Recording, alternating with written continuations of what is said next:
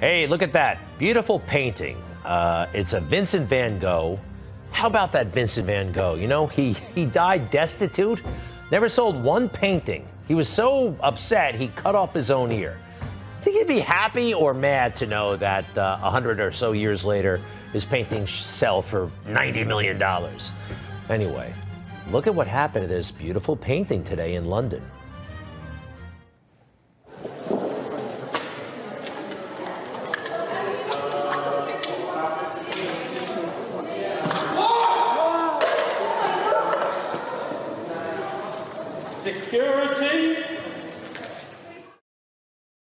Couple of environmental nutjob kids threw spaghettios all over that beautiful painting.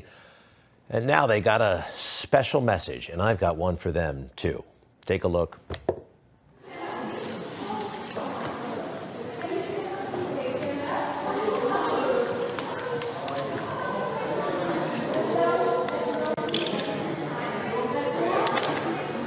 So they're putting crazy glue on their hands and sticking it to the wall more? Art or life? Is it worth more? All right, all right, food? all right. It's worth just a bunch of environmental gibberish. They hate everything. But um, interesting thing about this uh, activist. Notice anything? Take a look. Her hair, it's purple. It's not naturally purple. I looked it up. Nobody has purple hair naturally. You know what goes in purple hair? All kinds of chemicals. I mean, everything is in there. This is only a small portion of the chemicals that are on her head right now benzenes, uh, whatever the hell that is, aluminum, uh, ammonia, lead, and on and on and on. Hey, wellness and taking care of the environment, I think it starts at home and on your head. All right? Oh, yeah, and what happens to all those chemicals? They end up in the oceans, they hurt fish, uh, toxic to humans, the environment, can cause cancer. Think about that, Missy, before you mess with uh, Vincent van Gogh. All right, she's in London. oh boy, folks, this is interesting. I guess, does she want to defund the National Endowment for the Arts? Because I would agree with her on that. There's a whole bunch of federal funding there's a lot. Oh man, I'd say it'd be probably about at least half of what Washington does. Washington does is probably illegal. Um, there's a Supreme Court decision that the Supreme Court should review from way back. Don't ask me off the top of my head now. Uh, if you hadn't asked me, if I hadn't asked myself, I'd remember.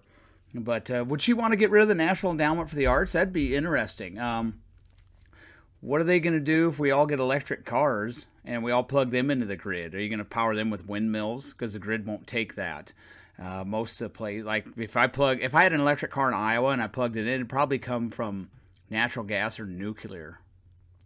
Nuclear is a good option. I think even the EnviroKooks would agree on that. Some of them. Uh, so they go in there and they throw food all over this painting, uh, which is not their painting. I remember when uh, some people went and uh, spray painted uh, black uh, painted Black Lives Matter on the street, and then other people would go on and throw paint on that or vandalize that, and they were all upset. Well, that was on the public square. This is uh, was in an art gallery uh, that is not owned by the public and can close its doors at any time and not let the public in. So that's different. So they can take taxpayer money and and paint Black Lives Matter on the street when young black men are killing young black men at a far greater rate than any Confederate militia flag waving redneck or the police ever could. They kill more black men kill other black men in two years than the Klan did in 80 plus. Uh, and they go crazy when Black Lives Matter gets painted on the road and somebody takes offense to that and dumps white paint on it or uh, paints more graffiti over the top of it. By the way, if you put a bunch of paint on the road when it's raining or snowing, it's going to become incredibly slick, and that might not be good for your car either you might run into somebody. So this was a lot different. But these these eco terrorists, these uneducated eco terrorists, can go in there and throw food all over this painting uh, and then glue themselves to the wall. I agree with somebody said, why don't leave, just leave them glued to the wall for like a day.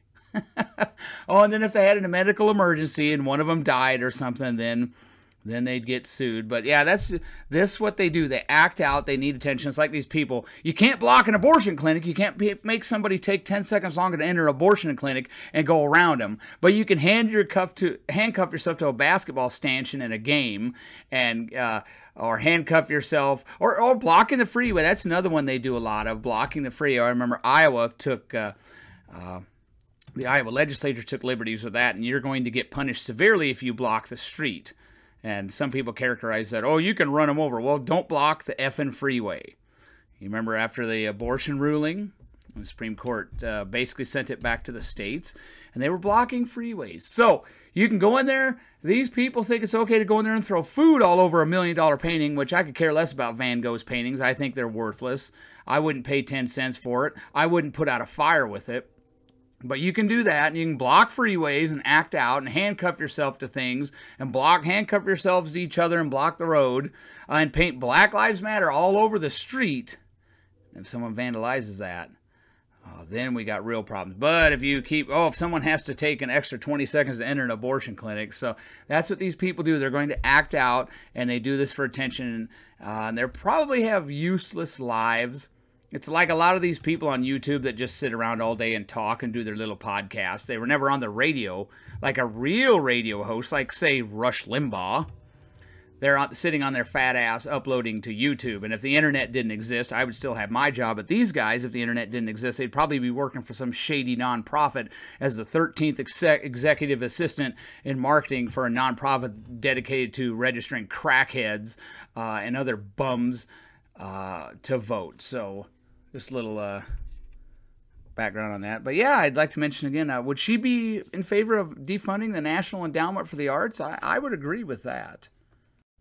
I'm starting to think of myself as like Columbo or Perry Mason, just one more thing. I think Columbo got that from Perry Mason, by the way. I don't think he was the originator of that. I should also mention uh, where are you going to get all these big battery electric cars? Not the hybrids, but the big bad, big battery electric ones. All the lithium and all the other items that go into those. Uh, where are you going to get that? That stuff's going to come out of the earth. There's a lot of lithium, a lot of cobalt. Uh, that's going to come out of the earth. A lot of that's going to come from China. So it's not really as green as you think. I mean, if you want to buy an electric car, hey, go for it. But I think they're useless. If I had a 600 mile trip with my SUV versus uh, a Chevy Volt, mine would win because I'd have to stop once to fuel up with gas. That would take exactly 90 seconds, and I'd be on the road again. Even in a, do it in a snowstorm.